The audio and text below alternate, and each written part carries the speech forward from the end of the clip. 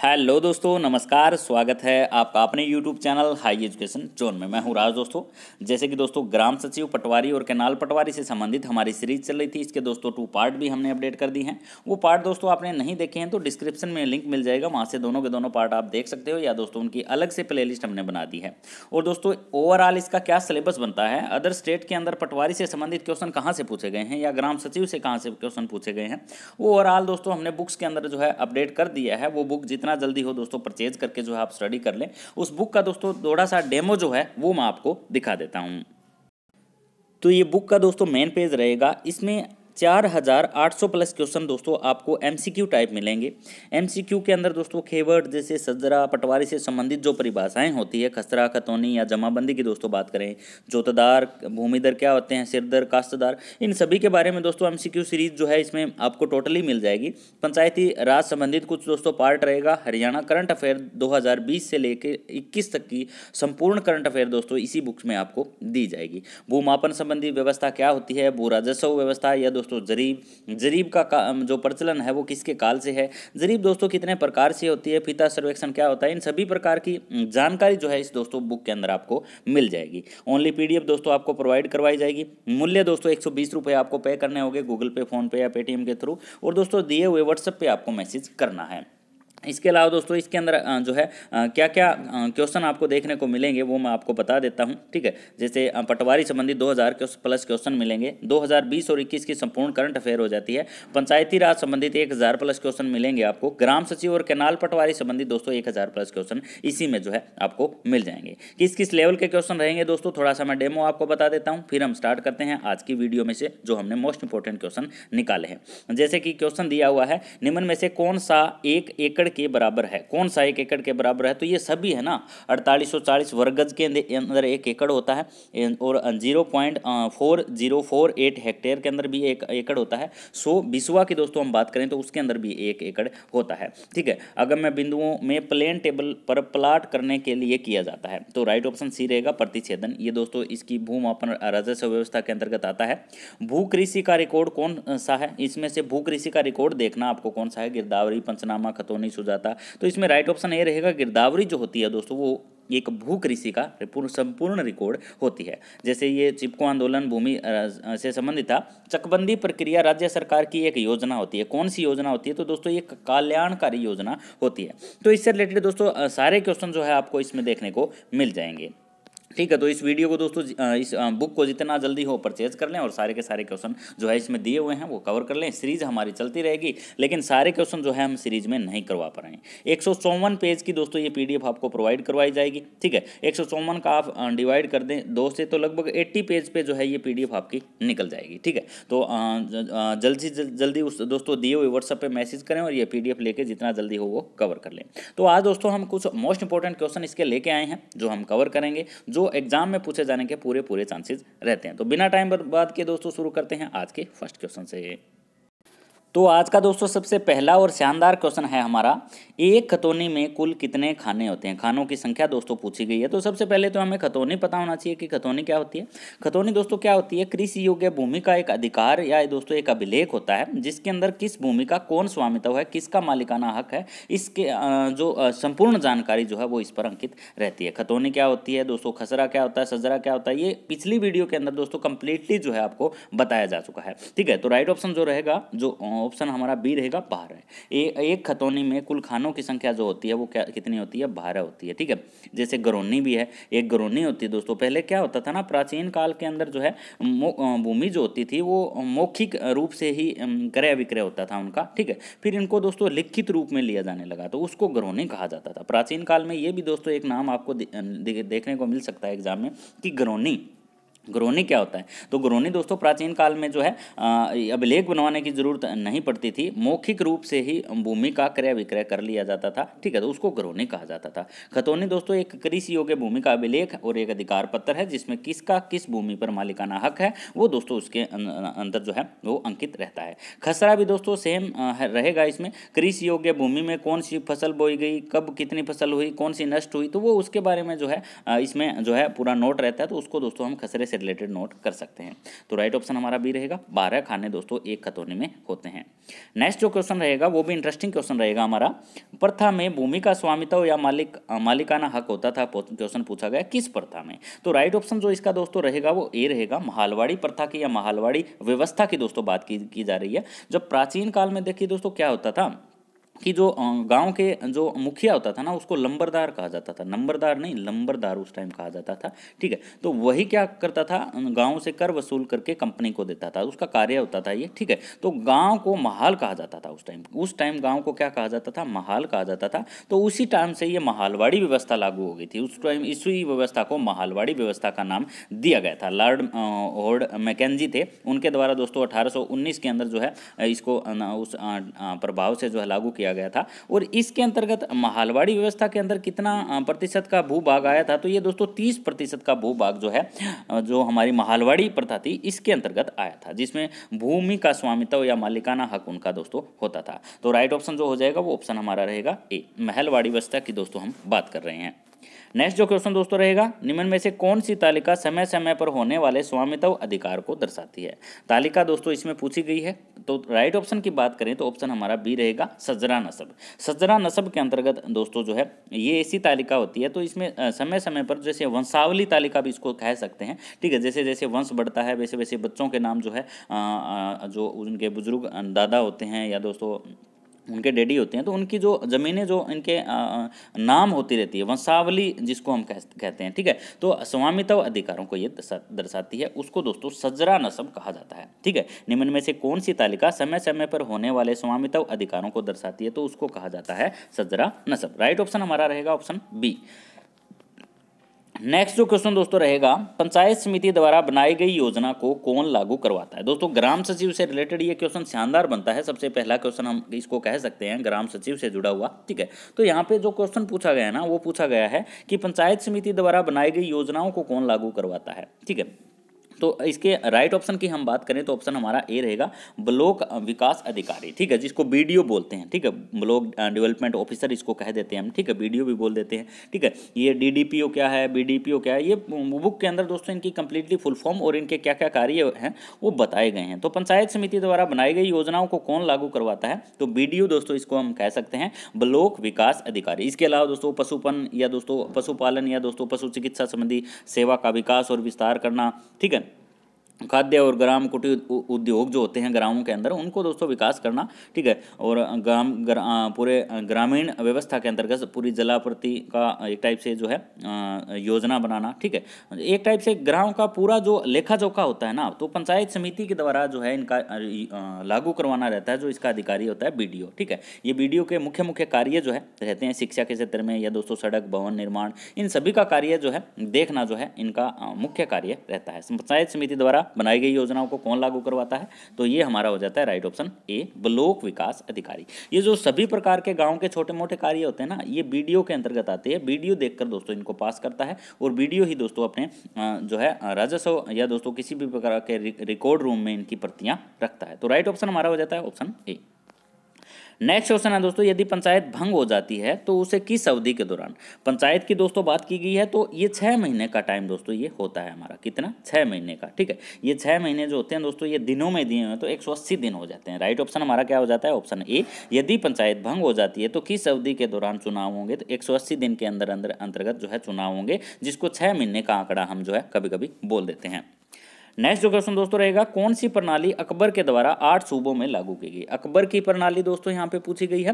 Right option की दोस्तों हम बात करें तो ऑप्शन डी रहेगा दसाला दसाला पद्धति की दोस्तों हम बात करें, ठीक है? जो टोडरमल के द्वारा या दोस्तों अकबर के द्वारा जो है लागू की गई थी। अकबर का शासनकाल दोस्तों कई बार पूछा जाता है, ठीक है? ये क्या होता था? दसाला पद्धति क्या होती थी? ये दस वर्षों का औस्त निकाल कर ठीक है? उस औस्त का एक तिहाई भू राजस्व के रूप में जो है प्राप्त किया जाता था, ठीक है? दस साल, ये दसाला पद्धति कितने सालों से संबंधित थी, ये दोस्तों दस सालों से संबंधित थी, ठीक है? पंद्रह सौ इकहत्तर से लेकर अस्सी तक अकबर के शासनकाल के दौरान दोस्तों लागू की गई थी। इसका एक और नाम था जिसको आइन ए दसाला। इसको एक और नाम से भी जानते थे जिसको आइन ए दसाला नाम लिया जाता था। आइन ए दसाला या दोस्तों दसाला पद्धति मुगल साम्राज्य की दोस्तों ये जो है पद्धति रही है। बादशाह अकबर के शासनकाल में राजा टोडरमल के द्वारा ये दोस्तों स्थापित की गई थी।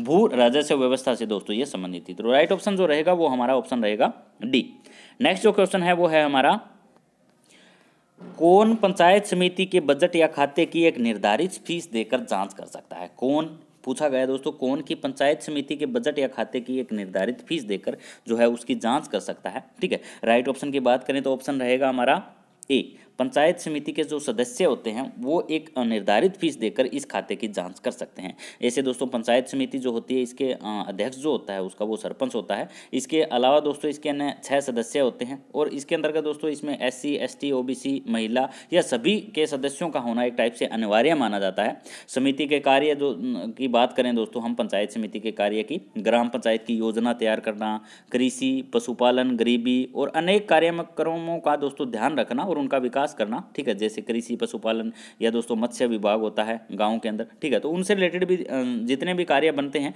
वो दोस्तों इस समिति के अंतर्गत रहकर किए जाते हैं, ठीक है? तो छह सदस्य से रिलेटेड यहाँ से क्वेश्चन पूछा जा सकता है। इसका अध्यक्ष कौन होता है? क्वेश्चन पूछा जा सकता है। इसमें कौन कौन शामिल होता है? तो S T, S C S C, general या दोस्तों ये सभी प्रकार के जो है इसमें शामिल हो सकते हैं। तो राइट ऑप्शन जो रहेगा वो ऑप्शन हमारा ये रहेगा, पंचायत समिति सदस्य। है नेक्स्ट जो क्वेश्चन है दोस्तों, वो है हमारा, निम्न में से भू सर्वेक्षण का मुख्य उद्देश्य क्या है? मुख्य उद्देश्य दोस्तों यहाँ पे पूछा गया वैसे उद्देश्य की दोस्तों हम बात करें तो ये सभी जो उद्देश्य है ना, ये भू सर्वेक्षण के मुख्य ही रहते हैं, ठीक है? खेत खेत का सही मानचित्र तैयार करना होता है इसका मुख्य उद्देश्य। खेत की सीमा निर्धारण करना भी इसका मुख्य उद्देश्य होता है। खेतों का सही क्षेत्रफल मालूम करना भी दोस्तों इसका मुख्य उद्देश्य के रूप में लिया जाता है। तो ये सभी के सभी कार्य जो है कि इसके मुख्य ही रहते हैं तो राइट ऑप्शन हमारा डी रहेगा।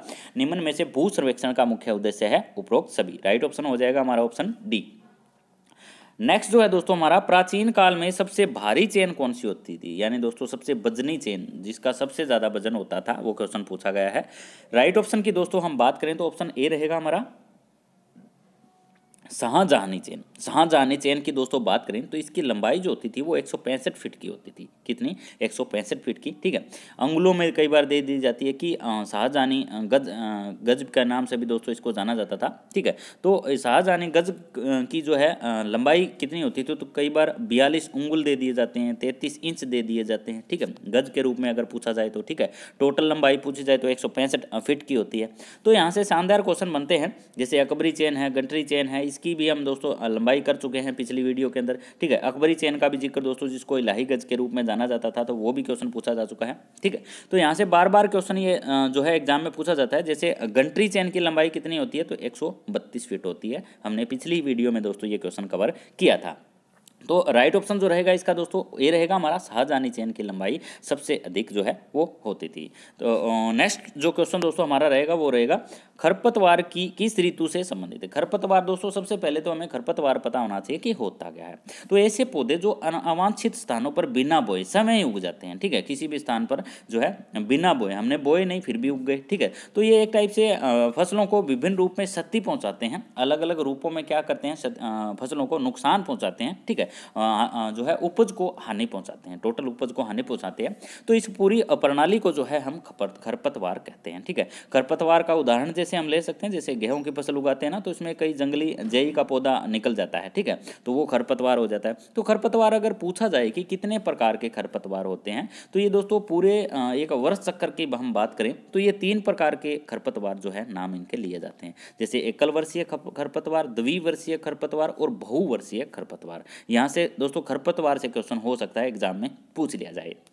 नेक्स्ट जो क्वेश्चन है दोस्तों तो इसका जो राइट ऑप्शन रहेगा वो दोस्तों बी रहेगा। खरपतवार किस ऋतु से संबंधित है? तो ये दोस्तों वर्षा ऋतु से जैसे वर्षा का मौसम होता है तो उस समय जो है ये अधिक जो है खरपतवार की पैदाइश जो है वो अधिक बढ़ती है। तो राइट ऑप्शन हमारा हो जाएगा ऑप्शन बी नेक्स्ट जो क्वेश्चन है, खेत खेत में फ़सल के नुकसान का कारण हो सकता है। तो खेत में फ़सल के नुकसान की दोस्तों हम बात करें तो सूखा भी हो सकता है, बाढ़ भी हो सकती है, ओलावृष्टि भी हो सकती है तो राइट ऑप्शन हमारा ऑप्शन डी हो जाएगा, उपरोक्त सभी।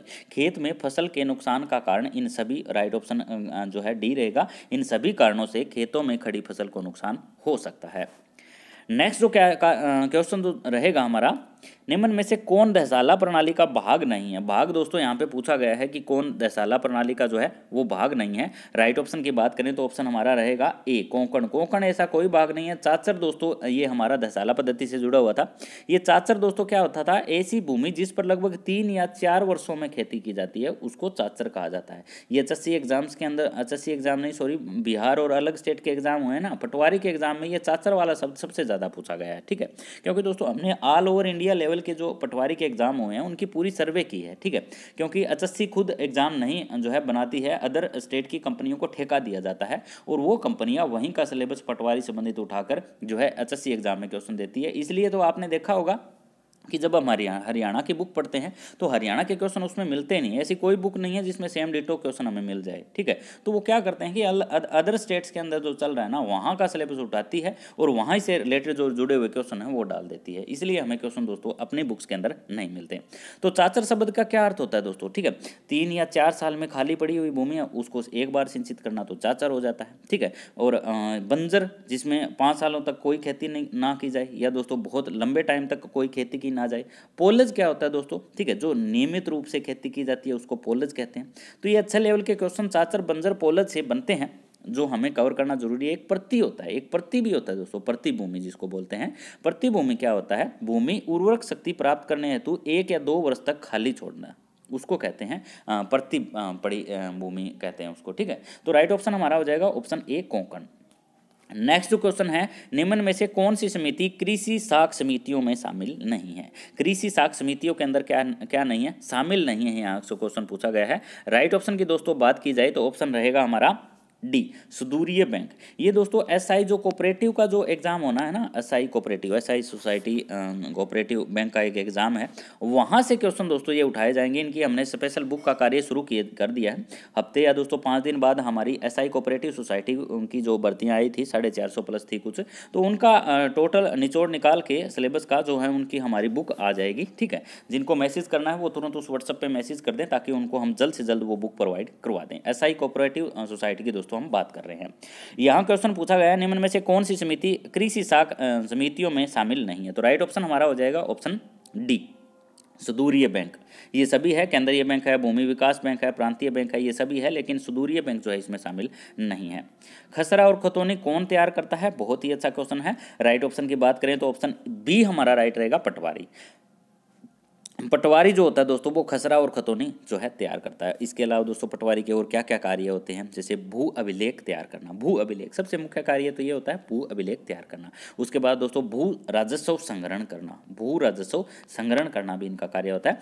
आपातकालीन सहायता के लिए ये तैयार रहते हैं पटवारी। इनका ये कार्य रहता है। राजस्व अभियानों का संचालन करना। राजस्व अभियानों, राजस्व के अंदर कितनी योजनाएँ चलाई गई, कितने अभियान चलाए गए, उनको संचालन करना पटवारी का कार्य रहता है। इसके इसके अलावा दोस्तों पूरे समस्त ग्रामीण विकास करना इनका मुख्य कार्य भी आता है। पूरे ग्रामीण स्तर का विकास करना इनका मुख्य कार्य भी माना जाता है। इसके अलावा दोस्तों, सरकार के जो विभिन्न कार्य जो चल रहे हैं, ठीक है, उनमें इनका सहयोग करना, ठीक है। अपने जो सीनियर ऑफिसर होते हैं कानून वो होते हैं, ठीक है, इनका पूरी तरह से सहयोग करना जो है पटवारी का कार्य माना जाता है। तो राइट ऑप्शन हमारा हो जाता है ऑप्शन बी नेक्स्ट जो क्वेश्चन दोस्तों रहेगा, कौन सा सम्राट भूमापन के लिए इलाही गज का प्रयोग करता था? सम्राट दोस्तों पूछा गया है, कौन सा ऐसा सम्राट था जो इलाही गज का प्रयोग करता था? राइट ऑप्शन की दोस्तों हम बात करें तो ऑप्शन सी रहेगा हमारा। अकबर। अकबर जो था ना, वो इलाही गज का प्रयोग करता है। ये इलाही गज क्या था दोस्तों? यहाँ से भी क्वेश्चन उठाया जा सकता है कि इलाही गज क्या था। तो माप तोल के पैमाने के लिए यूज़ करने के लिए इलाही गज चलाया गया था। ठीक है, माप तोल के लिए। जैसे दोस्तों, एक क्वेश्चन यहाँ से अकबर से रिलेटेड पता है क्या पूछा जाता है? कि अकबर के समय किसके समय में सोने के सिक्के चलाए गए, जिसको इलाही के रूप में जाना जाता था, जिसका वज़न दस रुपये के बराबर होता था, जो गोलाकार सिक्का माना जाता था, जिसको क्या कहते थे? गोलाकार सिक्के के रूप में जाना जाता तांबे का सबसे छोटा सिक्का जित्तल कहलाता था, जो क्वेश्चन कई बार एग्ज़ाम में पूछा गया है, ठीक है? वो किसके द्वारा चलाया गया? तो ऐसे ऐसे हल्के फुल्के क्वेश्चन दोस्तों, इनसे रिलेटेड जो है एग्ज़ाम में काफ़ी बार देखने को मिलते हैं। तो इसके राइट ऑप्शन की बात करें तो ऑप्शन हमारा सी रहेगा। अकबर के द्वारा जो है, ये हमारा जो है इलाही गज का प्रयोग जो है किया जाता था। इलाहीगंज से रिलेटेड दोस्तों, पहले भी एग्ज़ाम में जैसे हिस्ट्री की हम बात करें तो वहाँ से भी क्वेश्चन पूछा था एक इलाही गज होता है और एक सिकंदरी गज होता है, ठीक है? इलाही गज जो होता है ना दोस्तों, वो तो होता है इकतालीस अंगुल का और जो सिकंदरी गज होता है, वो दोस्तों होता है उनतालीस गज तक ये उनतालीस अंगुल का, अंगुल की दोस्तों हम बात कर रहे हैं, ठीक है? तो ये सबसे बड़ा इनमें से कौन है? इनमें से बड़ा है इलाही गज इलाही गज से छोटा कौन है? वो है दोस्तों सिकंदरी गज तो ये दोनों के दोनों क्वेश्चन दोस्तों एग्ज़ाम में पूछे जा सकते हैं। नेक्स्ट जो क्वेश्चन दोस्तों रहेगा, निम्न में से कौन सी विशेषता एक ग्रामीण किसान की है? एक ग्रामीण किसान की दोस्तों हम बात करें तो राइट ऑप्शन जो रहेगा, वो रहेगा हमारा ऑप्शन डी छोटे किसान, सज्जन किसान, पूंजीपति किसान तो ये सभी प्रकार के किसान जो है, एक संयुक्त रूप से ग्रामीण विकास ग्रामीण क्षेत्र का जो है विकास करते हैं। तो राइट ऑप्शन हमारा हो जाता है ऑप्शन डी नेक्स्ट जो क्वेश्चन दोस्तों रहेगा हमारा, ज़मीन का सर्वे नंबर मालिकों की जानकारी निहित होती है। ज़मीन के सर्वे नंबर में मालिकों की जानकारी जो है क्या निहित होती है? राइट ऑप्शन की दोस्तों बात करें तो ऑप्शन हमारा सी रहेगा, खसरा नंबर और खाता नंबर ज़मीन के सर्वे में मालिकों की जानकारी रहती है। तो राइट ऑप्शन हमारा हो जाता है ऑप्शन जो है सी खसरा नंबर और जो है खाता नंबर ये दोनों प्रकार की जानकारियाँ जो है उसमें रहती है। तो राइट ऑप्शन हमारा हो जाता है ऑप्शन सी नेक्स्ट जो क्वेश्चन है, वो है दोस्तों हमारा, किसी उद्देश्य की पूर्ति के लिए मिलजुल कर कार्य करना, जिससे उसे कार्य को आसानी से किया जा सके, उसको कहते हैं। तो उसको दोस्तों सहकारिता नाम से जानते हैं। क्या जानते हैं? सहकारिता नाम से। ये सहकारिता शब्द दोस्तों वहीं से जुड़ा हुआ है। सहकारिता जो है S I cooperative society bank से जो है वहाँ से जुड़ा हुआ है और वहीं से रिलेटेड दोस्तों हमने पूरा सिलेबस अभी तैयार कर दिया है। उनकी जल्द हमारी बुक जो है मार्केट में आ जाएगी। तो किसी उद्देश्य की पूर्ति के लिए मिलजुल कर कार्य करना, जिससे उस कार्य को आसानी से किया जा सकते, उसको कहा जाता है सहकारिता। नेक्स्ट जो क्वेश्चन रहेगा, पंडित दीनदयाल उपाध्याय योजना, जो ग्रामीण कौशल योजना कब शुरू की गई थी? तो ये योजना दोस्तों शुरू की गई थी राइट ऑप्शन जो रहेगा, वो रहेगा ऑप्शन हमारा बी सन 2014 वर्ष के अंदर अंदर जो है ये शुरू की गई थी। इसका उद्देश्य क्या था कि ग्रामीण क्षेत्र का जो बेरोजगार युवा है, उनको कौशल प्रशिक्षण प्रदान करके रोज़गार उपलब्ध करवाना जो है, इसका मेन उद्देश्य था। ठीक है तो दो हज़ार चौदह वर्ष के अंदर दोस्तों, ग्रामीण कौशल से जुड़ी हुई है तो ग्रामीण क्षेत्र के अंतर्गत पटवारी या दोस्तों किसी भी ग्राम सचिव से रिलेटेड क्वेश्चन पूछा, उठाया जा सकता है। इसलिए ग्रामीण क्षेत्र पर जितनी भी योजनाएँ जो चलाई गई है ना, जो कामयाब भी रही है तो उनके बारे में थोड़ा सा थोड़ा सा दोस्तों कवर ज़रूर कर लें, जितनी भी योजनाएँ चल रही तो राइट ऑप्शन हमारा हो जाता है ऑप्शन बी नेक्स्ट क्वेश्चन है, ज़मीन का नंबर खतौनी के साथ होता है जो मकान का नंबर किसके साथ होता है? मान लो ज़मीन का नंबर खतौनी के साथ है तो मकान का नंबर किसके साथ होता है? क्वेश्चन पूछा गया है। राइट ऑप्शन की दोस्तों हम बात करें तो ऑप्शन रहेगा हमारा बी खसरा के साथ। तो ज़मीन का नंबर खतौनी के साथ है तो मकान का नंबर किसके साथ होता है? खसरा के साथ होता है। तो राइट ऑप्शन जो हो जाएगा, वो हो जाएगा ऑप्शन हमारा बी नेक्स्ट जो क्वेश्चन दोस्तों हमारा रहेगा नेक्स्ट क्वेश्चन है दोस्तों, हमारा नील विद्रोह का मुख्य कारण क्या था? दोस्तों, नील विद्रोह जो था ना, वो क्या था कि उत्पादन पर लगान से संबंधित था। इसलिए यहाँ से क्वेश्चन उठाया जा सकता है, नील विद्रोह से जुड़ा हुआ। नील विद्रोह दोस्तों, बंगाल के किसानों से संबंधित है, अठारह सौ उनसठ वर्ष से संबंधित है, ठीक है? किसानों से संबंधित है और अठारह सौ उनसठ वर्ष से संबंधित है, दोनों से ही संबंधित क्वेश्चन जो है पूछा जा सकता था। इसके अलावा, इसके अंदर क्या था ना दोस्तों की जो किसान थे बंगाल के, उनको नील उत्पादन के लिए जो है प्रेरित किया गया उनको फोर्स किया किया गया एक टाइप से, ठीक है? उनको ज़बरदस्ती कहा गया था कि नील की खेती करो आप, ठीक है? तो वहाँ के मजदूर थे, खेती करते, उन्होंने जो है नील की खेती करने से मना कर दिया था, ठीक है? तो इसलिए इसको नील विद्रोह के नाम से दिया गया, नाम दिया गया था, ठीक है? उपजाऊ वाली ज़मीन पर जो उस टाइम के किसान थे तो वो वहाँ की ज़मीन पर जो है चावल की खेती करना चाहते थे, लेकिन उनको नील की खेती करने के लिए मजबूर किया गया था। तो इसलिए दोस्तों, इस आंदोलन को नील विद्रोह के नाम से जाना जा सकता है। उत्पादन पर अधिक लगान से दोस्तों, ये जो है संबंधित रहा था। तो राइट ऑप्शन जो रहेगा वो रहेगा ऑप्शन हमारा डी नेक्स्ट, जो क्वेश्चन दोस्तों रहेगा, वो रहेगा, भूमापन कार्य किसके दौरान शुरू हुआ था? भूमापन कार्य की दोस्तों यहाँ पे बात की गई है, किसके शासनकाल में जो है शुरू हुआ था। राइट ऑप्शन की बात करें तो ऑप्शन सी रहेगा शेरशाह सूरी के शासनकाल में जो है भूमापन का कार्य जो है शुरू हुआ था। शेरशाह सूरी ने उत्पादन के आधार पर जो है भूमि को दोस्तों तीन भागों में बांटा था। ठीक है शेरशाह सूरी ने कितने भागों में? तीन भागों में। ठीक है, अच्छी, मध्यम और खराब। तीन प्रकार की इन्होंने जो है जो है भूमि की श्रेणियाँ बनाई थी और तीन ही प्रकार की दोस्तों इन्होंने जो है, निर्धारण के लिए प्रणालियाँ बनाई थी, जैसे गल्ला बक्सी या बटाई जिसको कहते हैं, नंबर एक तो। नंबर दो थी इनकी नस, नस्क या मुक्ताई, ठीक है। नंबर तीन थी दोस्तों इनकी नकद या जब्ती। तो इस रूप में जो है ये किसानों से जो है कर वसूलते थे, उनसे जो है अपना हिस्सा लेते थे। तो राइट ऑप्शन जो रहेगा इसका दोस्तों ऑप्शन हमारा रहेगा सी शेर शाह सूरी। नेक्स्ट जो क्वेश्चन है दोस्तों, वो है हमारा सथाई बंदोबस्त से मिलती जुलती प्रथा कौन सी है? तो सथाई बंदोबस्त की दोस्तों, हम बात करें इनसे मिलती जुलती प्रथा जो है, वो थी दोस्तों, इस्तमदारी।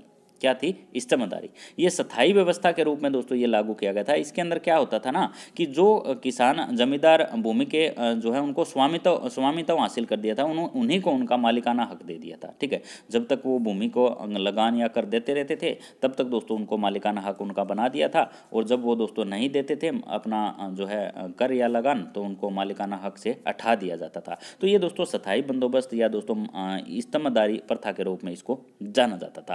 तो राइट ऑप्शन जो रहेगा, वो ऑप्शन हमारा डी रहेगा। नेक्स्ट जो है, निम्न में से कौन अधिकारी ग्रामीण सत्र का जमीनी करता धरता होता है? तो ग्रामीण सत्र का जो जमीनी करता धरता होता है ना, वो पटवारी होता है। तो राइट ऑप्शन हमारा हो जाता है ऑप्शन बी पटवारी। तो ये थे दोस्तों आज के हमारे कुछ शानदार और मोस्ट इंपॉर्टेंट क्वेश्चन वीडियो को दोस्तों लाइक नहीं किया तो लाइक ज़रूर कर दें, ठीक है? दिए हुए नंबर पर दोस्तों व्हाट्सअप मैसेज करके आप Haryana current affair computer science किसी भी प्रकार की दोस्तों पीडीएफ जो है आप ले सकते हो। तो दोस्तों जल्द मिलते हैं कल नेक्स्ट पार्ट में। तब तक दोस्तों नमस्कार, जय हरियाणा, जय भारत।